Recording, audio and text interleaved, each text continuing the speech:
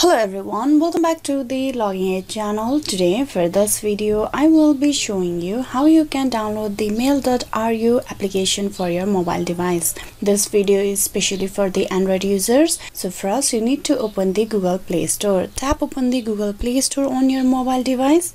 Once you're at the Google Play Store, you need to tap on search bar and there you type in mail.ru and tap on search you can see the application on the very top. You just need to tap on install just beside it and wait for the application to be downloaded.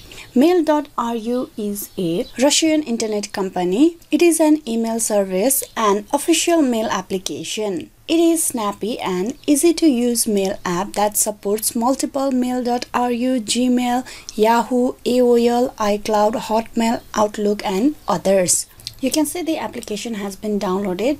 Now you just need to tap on open and with that you have successfully downloaded and installed the mail.ru application for your mobile user. Hope this video was useful. Please like and subscribe the Login Aid channel and also click on the bell icon for the notification and updates. Thank you